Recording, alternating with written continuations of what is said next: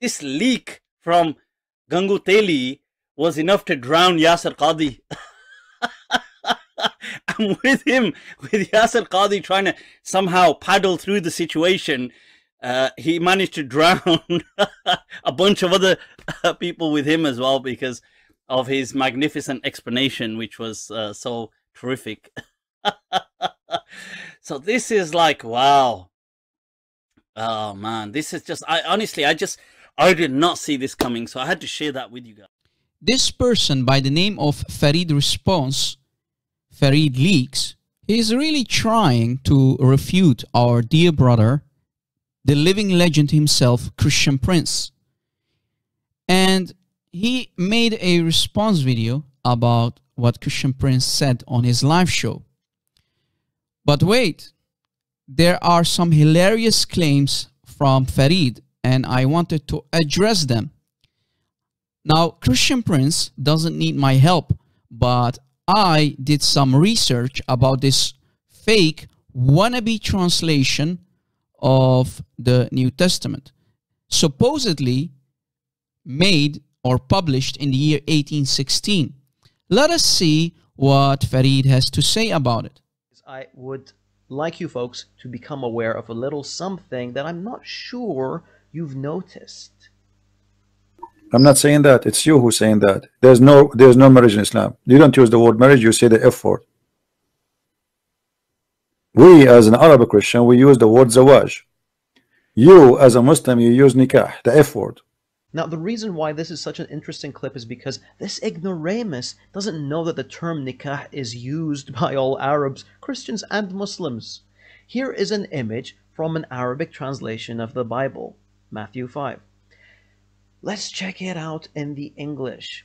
Jesus is saying anyone who married yankah, a divorced woman commits adultery. Okay, first point I'd like to make is that this is not some random image off the internet. I've added a link to the book in the description. You can check it out yourself if you like. As you can see, I'm scrolling through the book right now, going to Matthew chapter 5, and you can yourself see that this image isn't shopped. Salibi made the claim that this is the Van Dyck translation. Now, this is another lie by him. Look at this note on the Facebook page that he's quoting. This is a translation. The author of the Facebook post is showing you two Arabic translations to show you that the meaning is the same. Salibi instead is claiming that this text is from the Van Dyck translation. That was a claim that was not made by the Facebook user. Okay? Look, look, look, look, look. It says this translation. Okay? So, what is this translation? It is the Al-Ahd al-Jadid translation that was printed in the year 1816. No, ya jahl, ya miskin. There is nothing called Al-Ahd al-Jadid translation. It should have gotten a name like Van Dyck or the King James translation. What is the name of this translation? You don't know, right? Look at all these books in the background. They are not really helping you, yeah, Farid. Please get more books. Try to show off more that you are so smart. And you want to teach us about uh, our Holy Bible? Get some hikmah, man. Get some wisdom. Look, 1816, before the translation of the Van Dyck um, translation by decades. Just a second, Farid. Where do you want to go? We are here to catch you. The front cover on this unknown translation, the front cover is empty any translation any book should have a name who is it written by what is the name of this translation it's empty it's blank basically so there's something fishy going on here. Where's the name? Who wrote this? It is only saying that this New Testament is attributed to our Lord and Savior Isa al-Masih. Wait, wait, wait. Arabic speaking Christians don't call Jesus Isa. We are calling him Yeshua al-Masih. And what is the name of this translation? We again don't know. It's only called the New Testament. Any Arabic translation for the New Testament has a name. For example, Van Dyck, or in the English, for example, the King James, or the New King James. So, do you see the problem? It has no name. It's unnamed. Who wrote it? We don't know. If we continue reading, it says that it's published in the year 1816, 1816, 1816, uh, published in India, Calcutta. And that's it. No name. If we scroll down through this fake translation, which has no name, if we scroll down all the way down, we find a shocking thing. Again, even the back cover has nothing to say. So it's completely blank. But here is a disaster that I discovered. Look, it's saying Sir M. Monier Williams. Who is this person? I did some digging.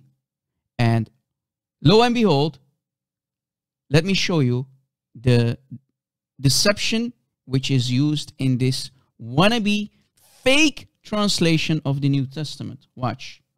Who wrote this so-called translation? That's what I want to know. And when I scrolled down, I went all the way down, I found that this translation is using a stamp basically. In the old days, they used to basically use a stamp of someone who uh, wrote this or is basically associated with this publishing of this so-called translation. But lo and behold, here comes the problem. It says, Sir Monier Monier Williams. Sir Monier Monier Williams. But wait, who is this Sir Monier Monier Williams? I did some research and I found that Sir Monier Monier Williams was born in the year 1819 in Mumbai, India. He is a professor who's associated with the Oxford University in England. But wait, he is born in the year 1819. So what is his stamp doing in this so-called 1816 translation of the New Testament? Do you see the disaster here?